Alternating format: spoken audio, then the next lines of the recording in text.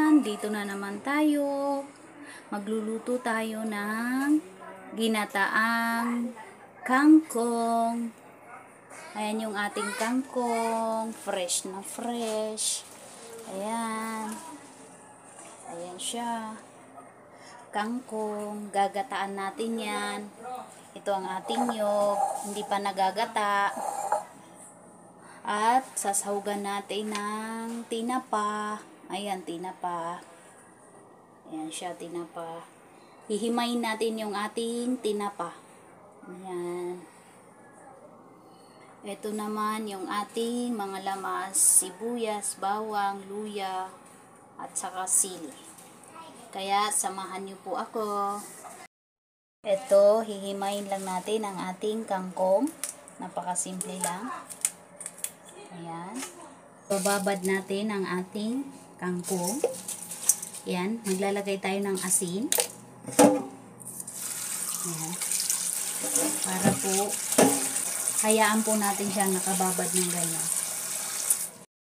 Tatanggalan po natin ng tinik ang ating tinapa. Para po, hindi kumalat tinik doon sa ating gagataan. Ayan. Tatanggalin lang po yung nakadikit na tinik.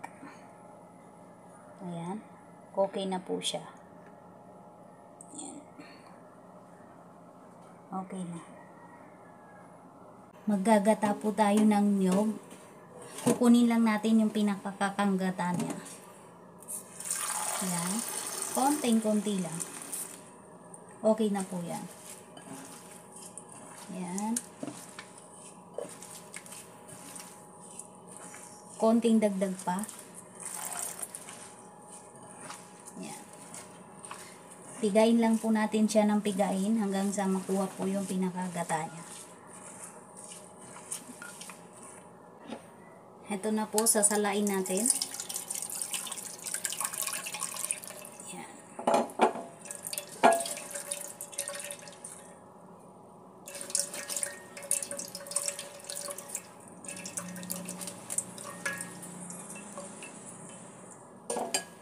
Pakukuluin po natin ito.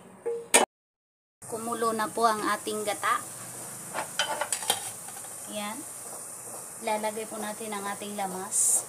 Sabay-sabay na po yan. Yan. Pakuluin pa po natin na isang beses. Yan, kumulo na po ang ating mga lamas.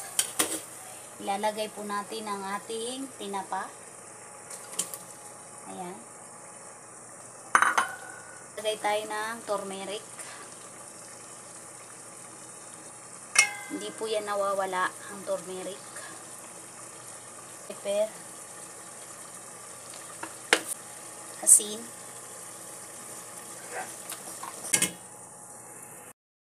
Yan, okay na po. Ilalagay na po natin ang ating kangkong. Yan.